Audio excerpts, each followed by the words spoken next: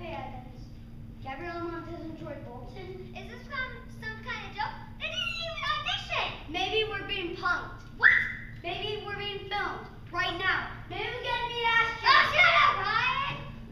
Oh, how dare she sign up? I picked up the colors from my dressing room. And she hasn't even asked her permission to join the drama club. No one's gonna tell her the rules. Exactly! What are the rules?